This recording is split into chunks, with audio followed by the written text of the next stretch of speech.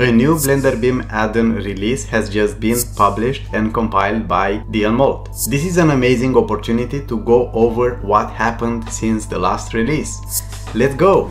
Of course, if you want to download this tool, you can find it at blenderbim.org. It's a free open source tool and one of the best when it comes to IFC native tools. So go ahead, try it out and be amazed. Because I promise you are going to be. Alright, let's go. Blender BIM add-on version 0.0.240602 which stands for June the 2nd 2024. This release has 561 new releases and fixes. Let's go over the most important ones.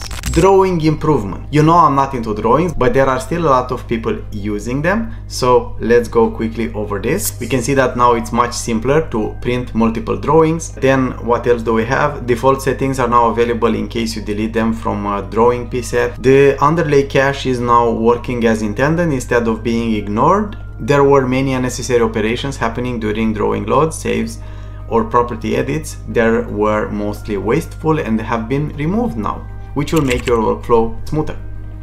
Any missing sheets will now be regenerated when needed, just like missing drawings. That's good, and it's now almost three times faster to save models when syncing collections.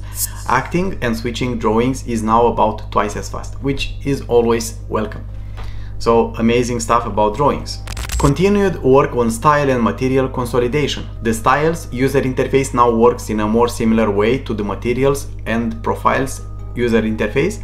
All of the panels which used to exist in the Blender BIM Materials tab have now been migrated to the IFC Geometry and Materials tab which is pretty cool that we know we can find everything regarding these things in one single tab.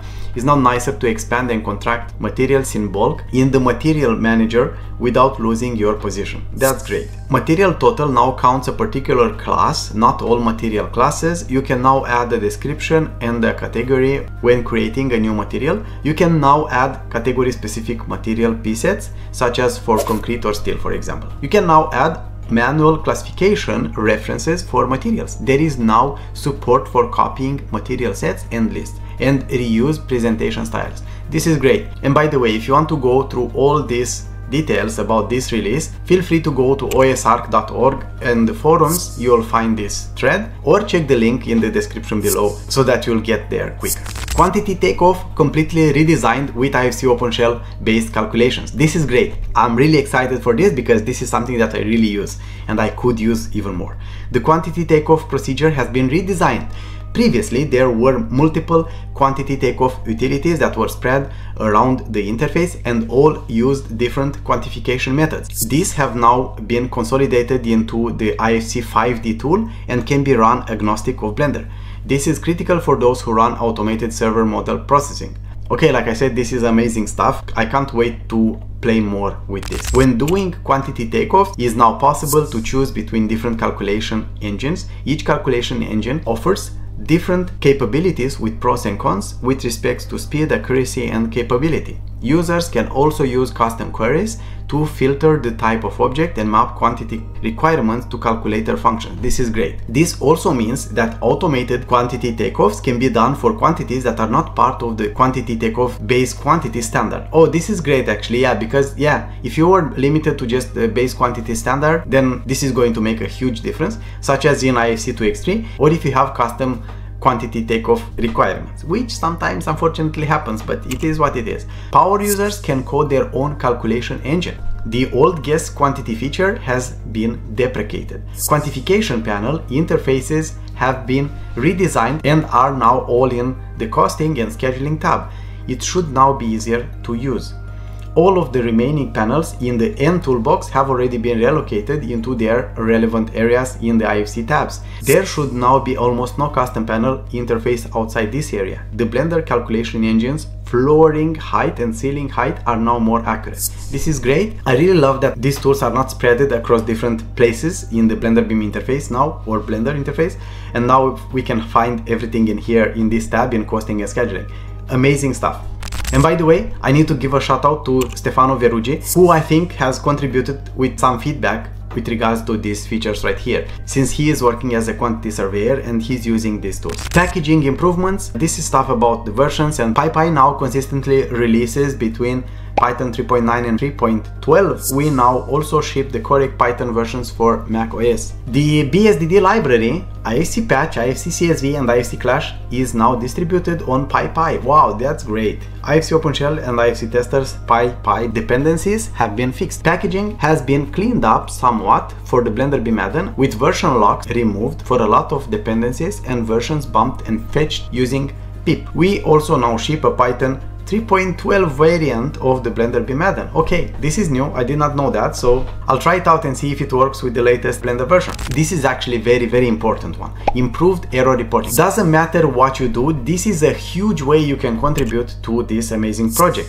just by reporting the issues that you are finding. This is amazingly helpful. I understand if you cannot coding, if you cannot afford to donate, but if you would really like to contribute to this project, this is the best way you can do it. Just report the issues that you are finding or suggest some things that you would like to see in this tool. All IFC operations now have improved error reporting. When an error occurs, the system will let you know and show that your file is potentially in an unstable state. You can continue to work with your file, but it is generally not recommended. It also stores the last 10 actions you performed as well as a journal of detailed logs that occurred during those actions. It will direct you to an aligned troubleshooting page which includes how to ask for help, how to debug it further and how to copy paste the debug logs when filling a bug report. This will make sure that developers will get all the information they need. Ideally, sometimes they will need your model to fix the issues. Yeah, this is great. I'll make a separate video where I'll cover this specific topic in more depth and I'll show you how you can actually use these features. If an error occurs during installation, it's smart enough to show your Python version, Blender version and platform. It will figure out the correct installation link for you to reinstall. Some users get confused between too many versions we have available. Yeah, IFC OpenShell API design upgrades. I will not go too deep into this, but yeah, let's mention the most obvious things. This is mostly for developers, but is significant enough to highlight in these release notes. The API previously functioned one elements one at a time. The API now supports batch commands, so this means that there will be an overall small speed up everywhere. For those who are writing scripts that manipulate IFCs, this can be the difference between a script taking hours and a script taking seconds. Wow, that's huge actually. I'll go forward. I'll skip this because I think this is more advanced and if you're interested in this kind of stuff, you can read more in the page or most probably you don't even need to watch this video because yeah, you are able to use more advanced things regarding Blender BIM and IFC OpenShell. Custom properties. Okay, this sounds like a strange one, but we now support adding arbitrary custom properties and quantities without the need to first create a property set template. Okay, this was not possible before, right? You needed to create the property set template and then to create the properties that you wanted. This is not a good practice. Dion makes this very clear. Data types are auto-detected, but still convenient when you want to quickly throw in some data or for educational purposes. We still highly recommend everybody to use templates. Yeah, templates are the best way. Now, this one is really, really, really important. Google Summer of Code 2024. This will be the fourth year that IFC OpenShell and Blender BIM add will be participating in the Google Summer School of Code program. This year we have three students with winning proposals. Please welcome Kshiti Rudki, who will be working on an IFC tester web interface to author IDSs with Vukas Pajic. Do you understand what this means? It means that we are going to be able to use IFC OpenShell and Blender in a web user interface to actually create IDSs. This is amazing news guys, I hope you are as excited as I am. Please also welcome Chirag Singh who will be working on integrating IFC data with Radiance Light Simulation I don't work much with light, but this is important stuff as well. Please also welcome Ziad Ibrahim, who will be working on building a web-based UI that can be run alongside the Blender interface for things like scheduling, Gantt charts, and BCF issues management. This is crazy good! Like, I can't wait to see this. This is going to be huge, guys. Come on, scheduling, Gantt charts, and BCF issue management alongside the Blender interface? Oh my god, this is going to be amazing. Coding has just begun, so expect interesting things happening in the coming updates. Okay, so I think they just started, and I think we're going to see hugely interesting things by the end of this year, so stay tuned for that. Alright, the next one is iNest Innovation Grant. Development isn't just coding, of course. One significant event is that the Blender BIM add-on and the IFC OpenShell will be part of a research program funded by Italian consortium INEST, Interconnected Northeast Innovation Ecosystem, featuring the participation of Italian companies Cadline Software SRL, 888 Software Products SRL, Three Phase Engineering SRL, Donadello and partners STP SRL. This will likely help with project funding and may result in some interesting future features. I can't wait to see what this will end up being actually. This sounds very very exciting. Oh guys, and this is the best thing of this release. We are hiring again.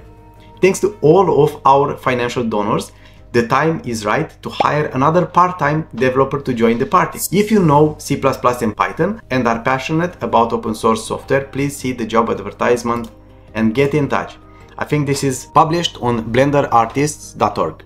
You will see all the details in here. I'll also leave a link in the description below. And maybe not only that, I think I'm going to make a full video only about this because I think this is important and yeah, I want to spread the word as much as possible to get more people in here. Can you imagine guys, this is amazing news because we got so much progress in the last year and with another part-time developer, this is going to go to completely new heights. I'm very very excited and pumped by this. IFC 5D improvements, many thanks to those testing and using cost related features. I was among one of them but I did not provide so much feedback I think, but I tested a little bit.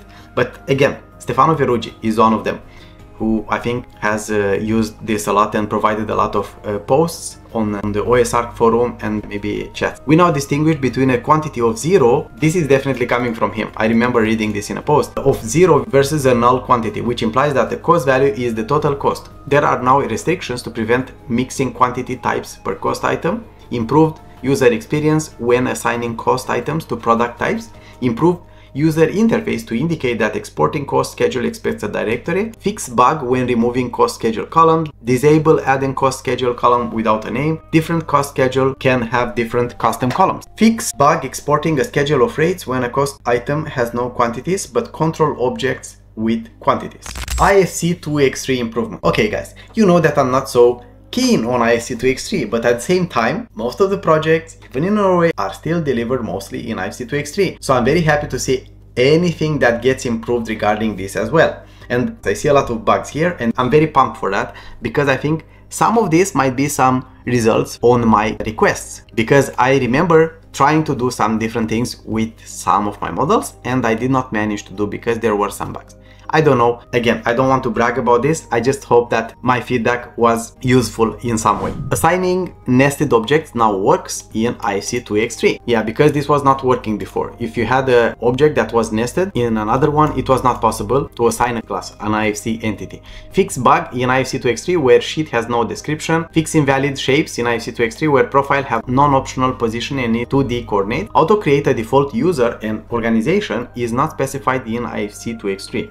Fix bug where some of IFC2X3 files would fail to link. Fix bug when trying to trace outlines for a new representation in IFC2X3. Fix bug where removing document information didn't work on IFC2X3. Fix bug where appending material asset didn't work in IFC2X3. Fix bug to remove inventories of people in IFC2X3. Removing copying materials now handles IFC2X3 properties. That's good. Removing library references now supports IFC2X3. Okay, that's great.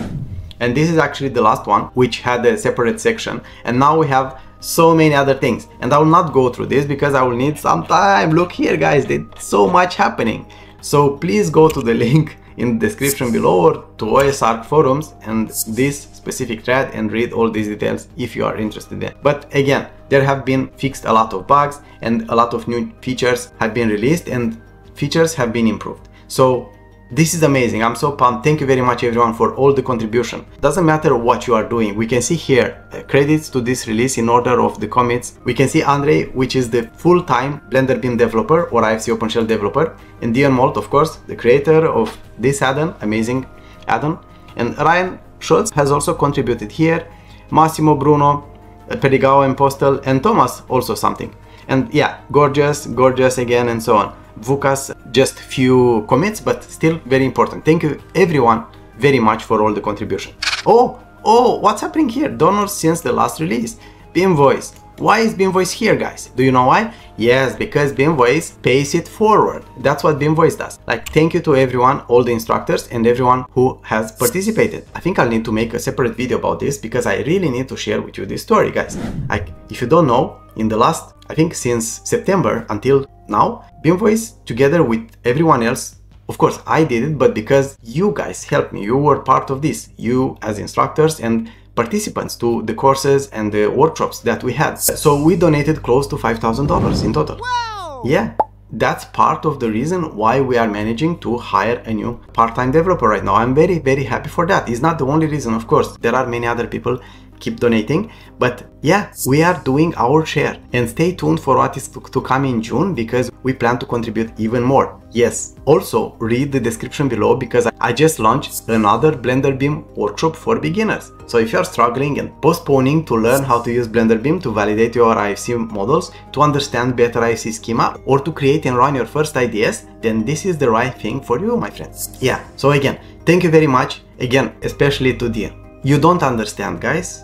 I'm sure you cannot see what's happening behind the scenes, but you need to understand this. Dion Moult is the hero of OpenBIM for the built environment. You have no idea how big his contribution is every day. So thank you from the bottom of my heart, Dion, for all the sacrifices you are doing. Yes, he is making a lot of sacrifices to do everything. Even if for him is just a passion, he is making a lot of sacrifices. And I really, really appreciate you for everything you are doing.